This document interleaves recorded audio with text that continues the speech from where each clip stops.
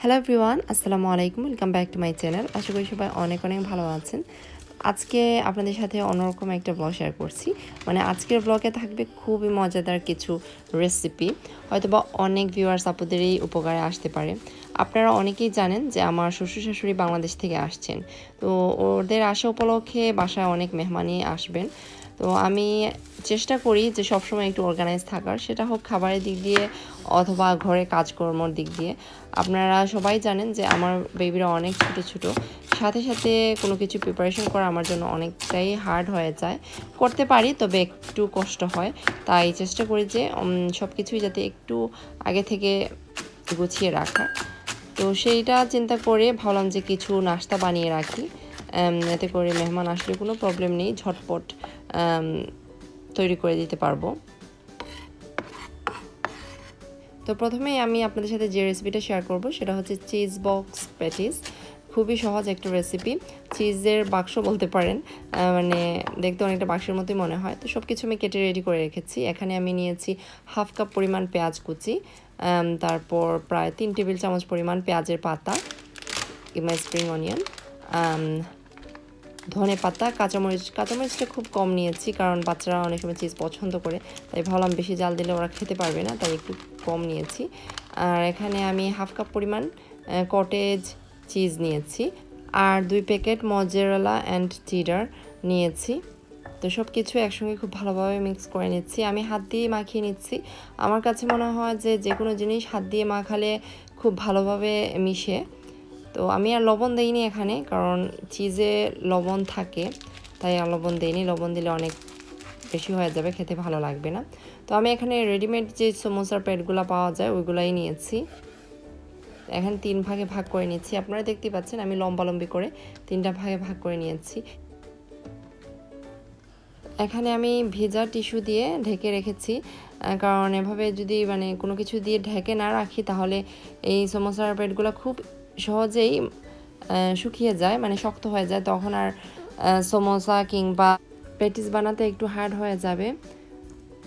তো প্রথমে আমি দুই পিস সমোসার যে শিটগুলো আছে, ওইগুলো নিয়ে নিয়েছি। তো আমি এখানে ভাজটা দিয়ে দিচ্ছি। ভাজটা একটু খেয়াল করলেই আপনারা দেখতে পারবেন। আর এখানে আমি ময়দার পানি দিয়ে একটা ব্যাটার রেডি করে নিয়েছি। এটা গ্লুর কাজ করবে।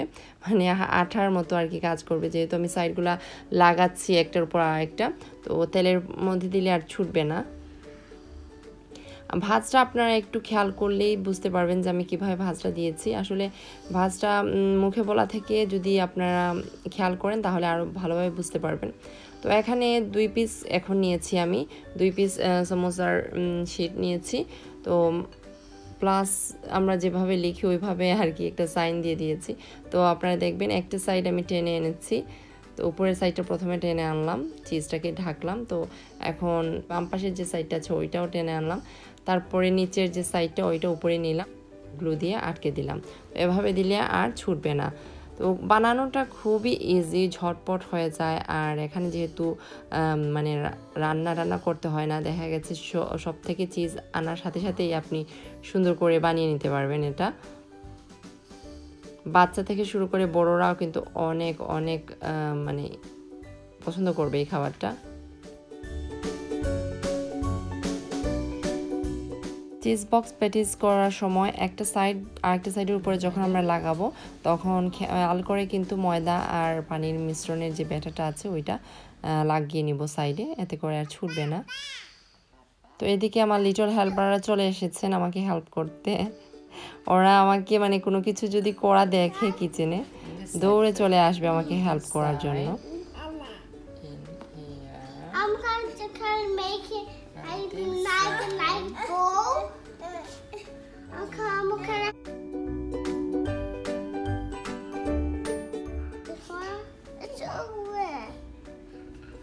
Good boy. What?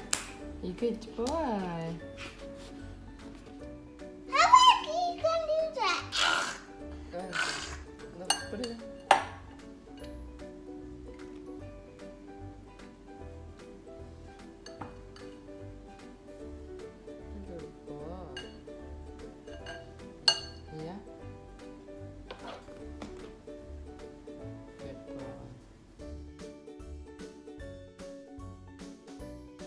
তো সবগুলা চিজ বক্স প্যাটিস বানানো হয়ে গেছে। আমি এখন এগুলোকে ফ্রোজন করব। সেজন্য প্রথমে একটা ট্রেতে আমি এভাবে বিছিয়ে নিচ্ছি। তো ডিপ ফ্রিজে রেখে দিব যাতে করে এই সমোসার বক্স প্যাটিসগুলো একটু শক্ত হয়ে যায়। প্রায় আধা ঘণ্টা পর ফ্রিজ থেকে বের করে নিব। এখন আমি কিন্তু আধা ঘণ্টা পর ফ্রিজ থেকে বের করে নিয়েছি। অনেকটি শক্ত হয়ে গেছে। তো একটা ফ্রিজার ব্যাগে আমি এভাবে রেখে দিব। বাকিগুলো আমি ডিপ ফ্রিজে রেখে দিব প্রায় আধা ঘণ্টার জন্য, আধা ঘণ্টা পর বের করে আবারও ব্যাগের মধ্যে রেখে দিব সংরক্ষণ করার জন্য। আর ডেটটাও খেয়াল করে লিখতে হবে। এতে করে বুঝতে পারবেন যে কতদিন আগে আপনি বানিয়ে রেখেছেন। ফ্রিজ থেকে বের করে এভাবে গোল্ডেন করে ভেজে বিকেলে নাস্তা হিসেবে খেতে পারেন। তো এখন আরেকটা মজার রেসিপি আপনাদের সাথে শেয়ার করব। এই রেসিপিটার নাম হচ্ছে chicken and vegetable spring roll খুবই মজার।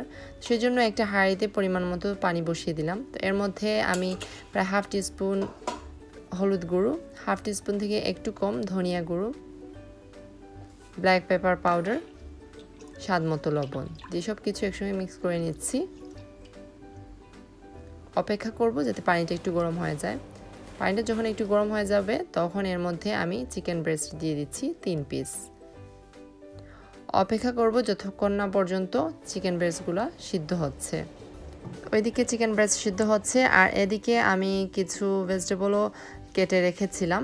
তো এখানে আমি বাঁধাকপি, তারপর গাজর, কুচি পেঁয়াজের পাতা, স্প্রিং অনিয়ন কেটে রেখেছি কুচি কুচি করে। একদম পাতলা পাতলা করে কেটে রেখেছি। পেঁয়াজ, কাঁচামরিচ, ধনে পাতা আর রসুন প্রায় এক চা চামচের মতো কেটে রেখেছি। তো সব কিছু আমার রেডি করা। একটা হাঁড়ি চুলার উপর বসিয়ে দিলাম। অপেক্ষা করছি হাঁড়িটা গরম হওয়া পর্যন্ত। হাঁড়িটা যখন গরম হয়ে যাবে তখন এর মধ্যে আমি পরিমাণ মতো তেল দিয়ে দিচ্ছি। তেল, মশলা সব কিছুই হচ্ছে আপনাদের নিজস্ব পছন্দ অনুযায়ী। এখানে কেটে রাখা পেঁয়াজ কুচি, রসুন কুচি আর কাঁচামরিচ, ধনে পাতাও দিয়ে দিলাম। স্বাদ মতো লবণ। কিছুক্ষণ নাড়াচাড়া করব। আর খেয়াল রাখতে হবে, চুলার আঁচটা যেন মিডিয়ামে থাকে কিংবা লোতে থাকে, না হলে কিন্তু পেঁয়াজটা পড়ে যাবে। পেঁয়াজের কালারটা যখন এ কালার হয়ে যাবে, তখন এর মধ্যে গুঁড়া মশলা দিয়ে দিচ্ছি। এখানে আমি হলুদ গুঁড়ো, ধনিয়া গুঁড়া, জিরা গুঁড়া আর অল্প পরিমাণ গরম মশলা গুঁড়া দিয়ে দিয়েছি আর ব্ল্যাক পেপার পাউডার দিলাম। এখানে মরিচ গুঁড়ো ইউজ করছি না, কারণ বাচ্চাদের জন্য বেশি ঝাল হয়ে যাবে। যেহেতু আমি দু একটা কাঁচামরিচও দিয়েছি পেঁয়াজের সাথে। সব কিছু একসঙ্গে মিশিয়ে নিলাম। মিনিট খানেক পর আমি কেটে রাখা সবজিগুলো দিয়ে দিচ্ছি। গাজর, বাঁধাকপি আর পেঁয়াজের পাতা এখন দিব না, পেঁয়াজের পাতা নামানোর আগে দিব। কারণ পেঁয়াজের পাতা খুব সহজেই কিন্তু সিদ্ধ হয়ে যায়। সব কিছুর সাথে খুব ভালোভাবে মিক্স করা হয়ে গেছে, তো এখন আমি ঢাকনা দিয়ে কিছুক্ষণের জন্য ঢেকে দিব, এতে করে সবজিগুলো সিদ্ধ হবে। ওইদিকে দেখলাম যে চিকেন ব্রেস্টগুলো সিদ্ধ হয়ে গেছে এখন আমি পানিটা ঝরিয়ে নিব। চিকেন ব্রেস্ট থেকে পানিটা ফেলে দিয়ে এখন শুধু চিকেন ব্রেস্টই রেখে দিয়েছি। ঠান্ডা হওয়ার অপেক্ষা করছিলাম। যখন ঠান্ডা হয়ে যাবে, তখন এগুলাকে একদম কুচি কুচি করে কেটে নিব এভাবে।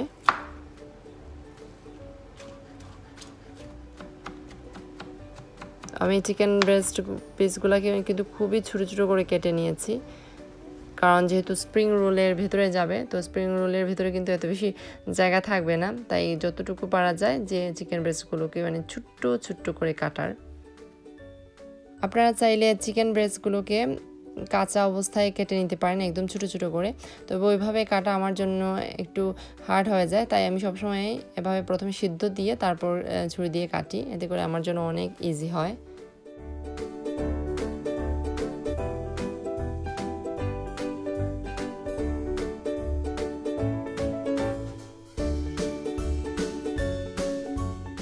সবগুলো চিকেন ব্রেস্ট কাটা হয়ে গেছে, একদম ছোটো ছোটো করে কেটেছি আমি। এখন সবজিগুলো চেক করে নিচ্ছি। সবজিও সিদ্ধ হয়ে গেছে। একবার নাড়াচাড়া করে দিচ্ছি।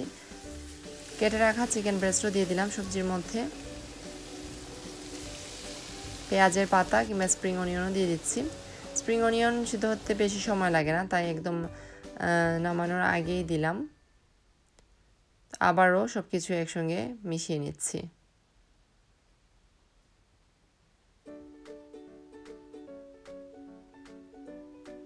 মেশানোর পর এখন এর মধ্যে প্রায় এক থেকে দেড় টেবিল চামচ পরিমাণ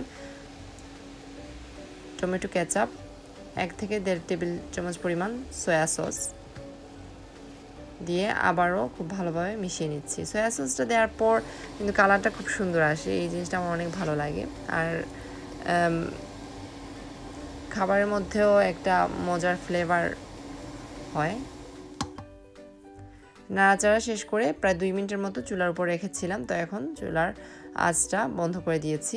এই তো তৈরি হয়ে গেছে খুবই মজার সুস্বাদু স্প্রিং রোলের ভেতরে পোর তো এখন আমি স্প্রিং রোলগুলো বানিয়ে নিচ্ছি। তো একটা সমোসার প্যাডকে মানে প্যাকেটের ভিতরে যে থাকে আস্ত সমোসা প্যাড ওইটাকে আমি চার ভাগে ভাগ করেছি। তো এক ভাগ আমি নিয়ে নিচ্ছি দুই পিস করে নিচ্ছি কারণ এক পিস নিলে বেশি পাতলা হয়ে যায়। তো মাছ বরাবর আমি স্প্রিং রোলের যে পোর্তো মানে চিকেনের যে পোর্তোটা আছে, ওইগুলো নিয়েছি, নিয়ে এভাবে রোল করে নিয়েছি। আপনাদেরকে একটু পর দেখাচ্ছে যে কীভাবে আমি বানা বানিয়েছি মানে খুবই সহজ। তো ওইদিকে মেলিসা আমাকে হেল্প করছিল। আসলে আমি যদি একা করি, তাহলে অনেক সময়ের প্রয়োজন। তো ওর অবশ্য হোমওয়ার্ক ছিল না কোনো কিছু, তো ও বলল যে আমাকে হেল্প করবে। আসলে দুইজন মিলেমিশে কাজ করতে ভালোই লাগে মানে গল্প করতে করতেই কাজ শেষ হয়ে যায়। ওইভাবে আর বোর্ড ফিল হয় না। না হলে দেখা যায় যে একা একা কাজ করলে অনেক সময় ঘুম চলে আসে চোখে। এই তো আরেকটা স্প্রিং রোল হয়ে গেছে। বারবার বলছি, আসলে এগুলো একটু খেয়াল করে দেখার বিষয়।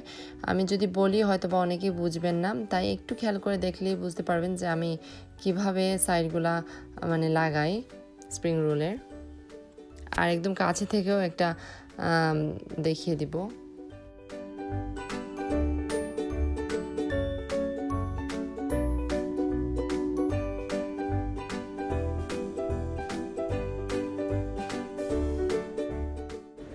তো এখন মেলিসা আপনাদেরকে দেখিয়ে দিবে যে কীভাবে স্প্রিং রোলের ভাজটা আমরা করছি। একটু খেয়াল করলেই বুঝতে পারবেন।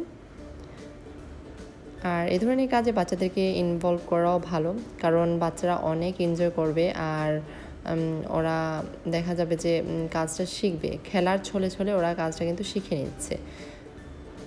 আর বড় ছোট সবার জন্যই মানে কাজ শিখে রাখা ভালো। আমি সব সময় কথাটা বলি, কারণ আমি আমার নিজের লাইফে এটা উপলব্ধি করেছি যে আগে অনেক কিছুই জানতাম না, এখন শিখছি আর কি।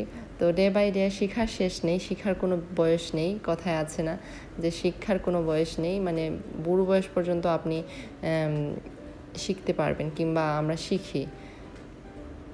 তো আমরা মা মেয়ে মিলে বানিয়ে ফেললাম স্প্রিং রোল তো এখন আমি এভাবে ফ্রিজে রেখে দিব কিছুক্ষণের জন্য।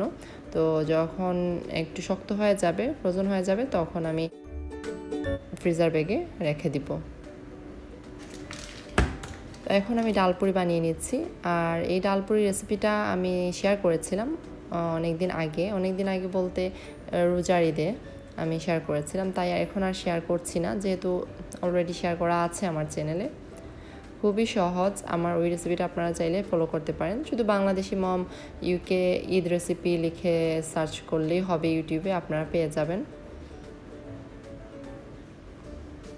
আর ডালপুরি কিন্তু আমরা সবাই কম বেশি পছন্দ করি। চায়ের সাথে কিংবা এমনিতেও ডালপুরি, পেঁয়াজু খেতে খুব ভালো লাগে। তাই ভাবলাম যে কয়েকটা ডালপুরি বানিয়ে ফেলি। আর ডালপুরিটা খুবই সহজ। আমি এখানে ডালের পুর করে রেখেছি আর ময়দা দিয়ে আমি ডো বানিয়ে রেখেছিলাম। বিশ মিনিটের জন্য রেস্টে রেখে দিয়েছিলাম। বিশ মিনিট পর আমি ডালপুরিগুলো বানিয়ে নিচ্ছি। ওইদিকে মিলিসা আমাকে হেল্প করছিল আবারও ডালপুরি বানাতে। ও ডাল ভিতরে দিয়ে বল বানিয়ে দিচ্ছে আমাকে আর আমি জাস্ট এভাবে রুটির মতো বেলে নিচ্ছি। ডালপুরি করার আগে আমি প্রথমে খাটে অল্প পরিমাণ তেল লাগিয়ে নিচ্ছি, তারপর ডাল পুরিটা বেলে নিচ্ছি। এতে করে ডাল পুরির উপরটা ক্রিপসি হবে খেতে ভালো লাগবে। এই তো আমার মোটামুটি বানানো হয়ে গেছে, আরও কয়েকটা বানাতে হবে। ডালপুরি বানিয়ে আমি গ্রিসপ্রুফ পেপারের উপর রেখেছিলাম, তো এখন মেলেসা জাস্ট সাইডগুলো এভাবে কেটে নিচ্ছে, আর ডাল পুরিগুলোকে একটার উপর আরেকটা রেখে দিচ্ছি। এভাবে রাখলে হবে কি, একটার গায়ে আরেকটা লাগবে না। যখন আমি তেলে ফ্রাই করব, তখন খুব সহজেই ডাল পুরিগুলোকে খুলে ফেলতে পারব। আর তেলে দেওয়ার সাথে সাথে অনেক সুন্দর করে ফুলে উঠবে। ভাঙবে না। তো এখন আমি আপনাদের সাথে শেয়ার করছি ঝটপট যে কিমা সমোসা বানাচ্ছি সেটাই। এখানে আমি আর রেসিপি প্রপার শেয়ার করছি না। আসলে একটু তাড়াহুড়া করেই আমি সমোসার পোটা তৈরি করেছি, কিমা দিয়ে। তাই আর রেসিপিটা শেয়ার করতে পারলাম না। ইনশাল্লাহ অন্য একদিন শেয়ার করব। আর এই সমোসার পোটা ভীষণ মজা হয়েছে। আসলে আমি আপনাদের সাথে রেসিপিটা শেয়ার করতে পারিনি, সেজন্য একটা আফসোস আছে। জানি না কখন সময় পাবো আর সুযোগে হবে। আপনাদের সাথে রেসিপিটা শেয়ার করব। শেয়ার করতে পারলে খুবই ভালো লাগতো। তো এখন আমরা সমোসা বানিয়ে নিচ্ছি। আমি আর রেডিমেড সমোসার প্যাড ইউজ করিনি। আমি নিজে হাতে একটা ডো বানিয়েছি, ময়দা, সুজি দিয়ে। তো ওইটাই ইউজ করছি। আর সুজিটা দিলে হয় কি সমোসার যে আবরণটা আছে, সেটা খেতে অনেক ক্রিপসি হয়, ভালো লাগে। তো আজকের ব্লগটা আমি এই নিয়েই সাজিয়েছিলাম। আশা করি আপনাদের কাছে ভালো লাগবে। সবাই অনেক বেশি ভালো থাকবেন, সুস্থ থাকবেন, আমাদের জন্য দোয়া করবেন। আপনাদের জন্য রইল অনেক অনেক দোয়ার ভালোবাসা। আল্লাহ হাফেজ।